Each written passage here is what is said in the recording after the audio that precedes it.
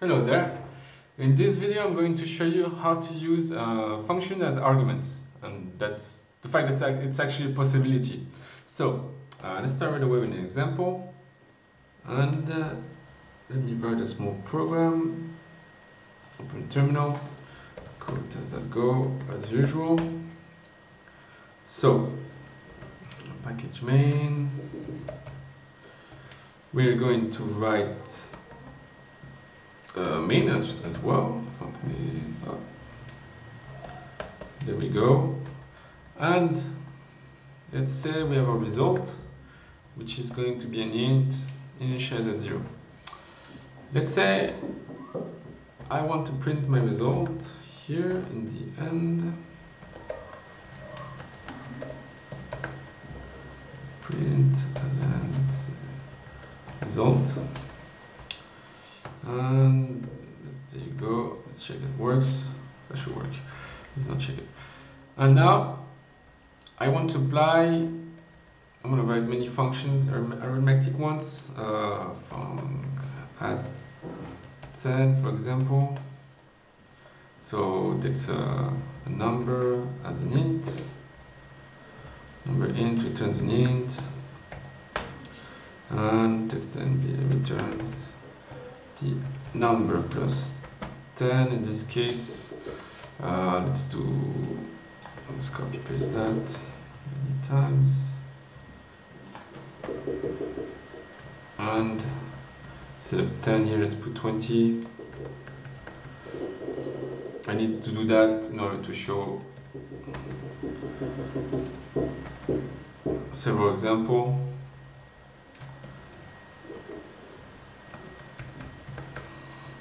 30, no, 30.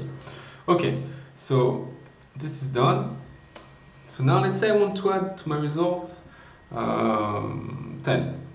So we might, you might tell me like we do it this way, add 10 and then put the result. But that's not the point. We want to do it in a way, uh, we want to create a function that can apply function. So I'm gonna show that right away. We want a function that apply the operations.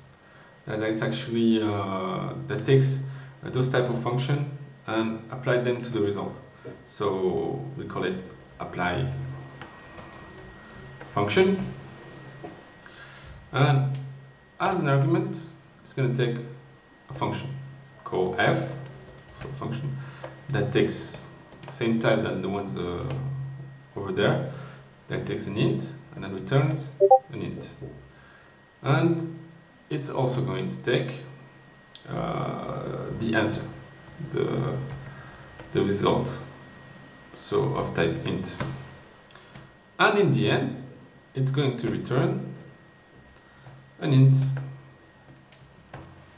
Okay right now doesn't seem very useful. I mean it seems very complicated but you will see why after. Um, so now let's apply the function to the answer. The answer being uh, this result, we're to apply it.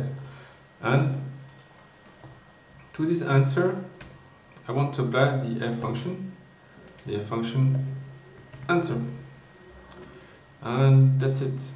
I just have to return it. And voila, this applying function is ready. So now let's see it happening here, result is equal to apply function. So here we decide the function.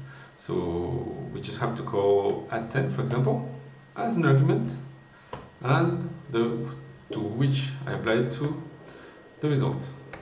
This should technically work. Uh, there's a slight mistake here. Did I forget? What did I forget? Missing the body, apply function, apply function. Let me find my mistake. Uh, int answer int. int. I'm not seeing it. Ah, I put the parentheses too many. There we go. So that's the way you write it. Sorry about that. So now this should work. Technically, go run test. There you go. And now, say I want to add 20. you can tell me, okay, what's the point so far? Well, you know, you have to rewrite the function, might as well have used the function right away. But here's the thing, you can also, and this is when it becomes useful and sometimes, you can also create an of function. So now the array function, let's put a function of function have to be of the same type.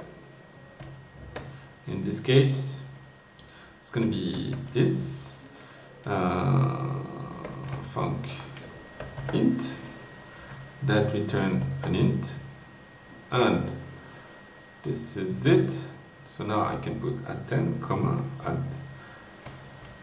20 comma add 30 and this should work. Okay it's being underlined because it's not being used. So now here instead of rewriting my function every time I call it in my array. So 0 is at 10 if I want 20 I put 1 because it's at uh, index 1 example let me let me show you. Go run test.go so now at 30 go run test.go ah, out of range because this the amount of the index 30 is actually in index 2 that was a test. So there you go. Voila. So imagine that you have actually um, more than those three functions and um, you can actually uh, this opens many possibilities uh, for example if you were to do a, calculator you might want to change uh, what type of function you need to apply and that's all I'm going to say for now. Um, just showing you this uh, should give you ideas for uh, the exercise you will do. Uh, thank you for your attention and until next time.